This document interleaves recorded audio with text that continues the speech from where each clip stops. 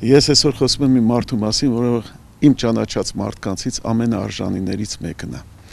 Ու հպարտ եմ, ու երջանիկ եմ, որ ես ընդհանրապես ճանաչում եմ այդ մարդուն ու շփվել եմ բազմիցս իր անգամ իր հետ երկար տարիներ։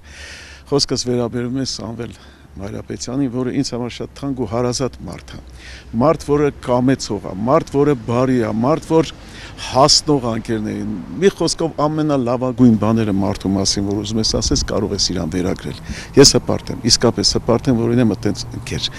Եվ ինձ համար այսօր մեծ ցավ է, մեծ դառնություն, որ իմ ընկերը գտնում այնտեղ, որտեղ ինքը բոլորովին կապ չունի լինելու։ Ես կուզենամ իմ ընկերը լինի իմ կողքին մեր հետ, որտեղ ես իրան շատ եմ սիրում, շատ եմ հարգում